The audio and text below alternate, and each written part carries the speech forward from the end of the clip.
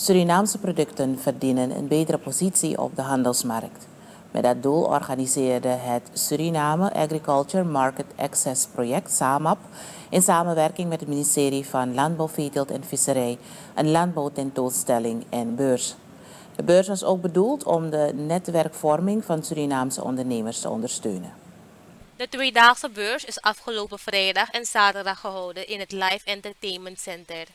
Het evenement was bedoeld voor alle landbouwgerelateerde ondernemingen, variërend van individuele boeren en kleine landbouwbedrijven tot coöperaties en joint ventures.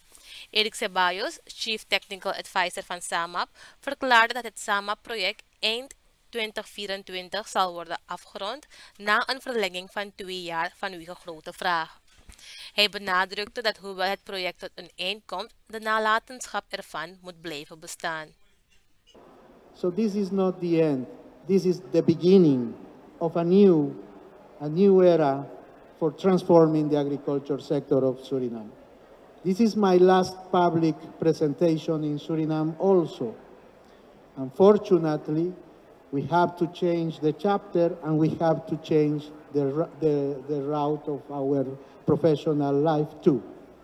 This is just a goodbye from my end to all because, as I said to everyone, when I will be come back here, when I'll come back here as a tourist, I will come to see how all these businesses are succeeding more and more.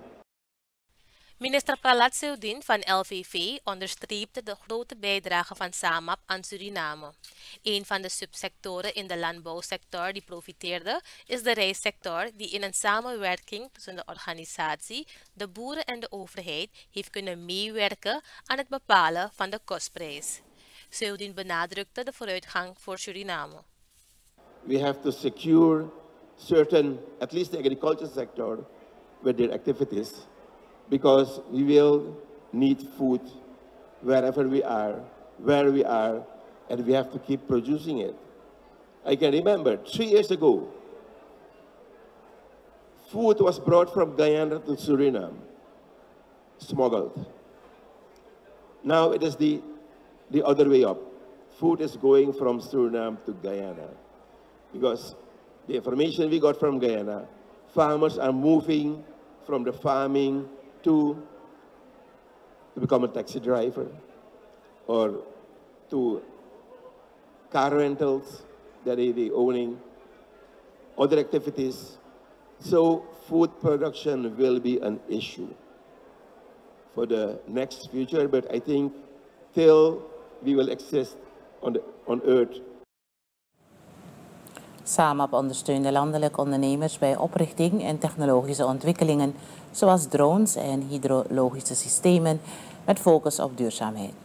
Ondanks het naderende einde van het project spoort Ceballos landbouwers en ondernemers aan om door te gaan met verbeteringen en productie met het oog op betere producten op de markt.